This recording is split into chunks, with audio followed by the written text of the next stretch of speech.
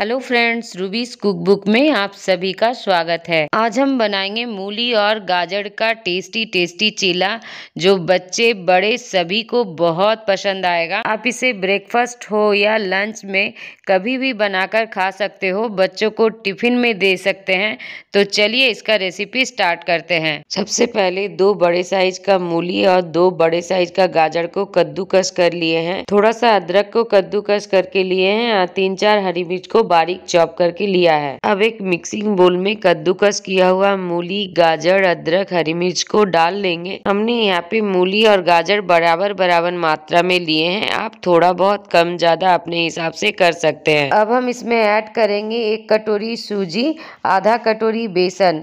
अगर आप सूजी नहीं खाना चाहते हो तो चावल का आटा भी ऐड कर सकते हो। इसके साथ ही हम इसमें ऐड करेंगे स्वाद अनुसार नमक, भुना हुआ जीरा पाउडर, एक कटोरी कटोरी पानी, उसके बाद इन सभी चीज़ों को हाथों से इस तरह से मिक्स कर लेंगे। ये अभी भी बहुत ज़्यादा ड्राई है तो यहाँ पे हम आधा कटोरी लगभग पानी ऐड करेंगे, उसके बाद इन सभी चीज़ों को अच्छे से मिक्स कर लेंगे। बाद में मूली, गाजर थोड़ा सा पानी छोड़ेगा और सूजी पानी एब्जॉर्ब भी कर लेगा। तो देखिए, शुरू में हम थोड़ा सा गाढ़ा ही रखेंगे बैटर को और उसके बाद 10 से 15 मिनट रेस्ट के लिए रख देंगे। तो देखिए, ये अच्छे से मिक्स हो गया है। और इसको हम ढक के 10 मिनट रेस्ट के लिए रखेंगे। 10 मिनट बाद बैटर को हम चेक करेंगे। देखिए, बहुत ज़्यादा गाढ़ा हो गया है। सूजी पानी एब्जॉर्ब कर लिया है।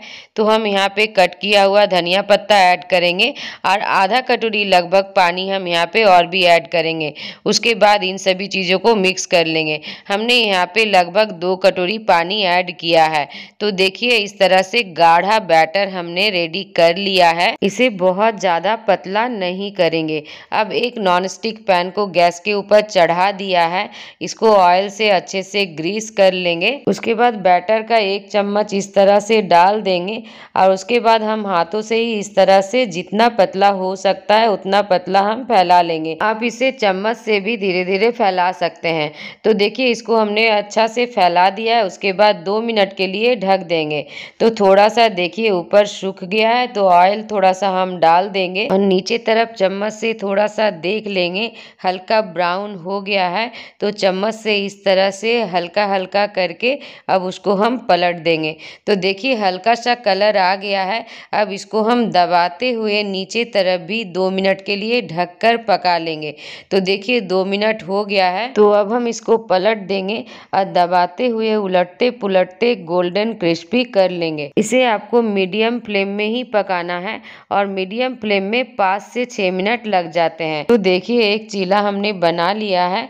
फिर से हम पैन में थोड़ा सा ऑयल से ग्रीस करेंगे और फिर एक चम्मच हम बैटर का डाल देंगे और इसे हाथों से ही इस तरह से फैला देंगे। अच्छे से फैलाने के बाद हम इसे दो मिनट के लिए ढक देंगे। दो मिनट बाद देखिए ऊपर में थोड़ा सा ड्राई हो गया है।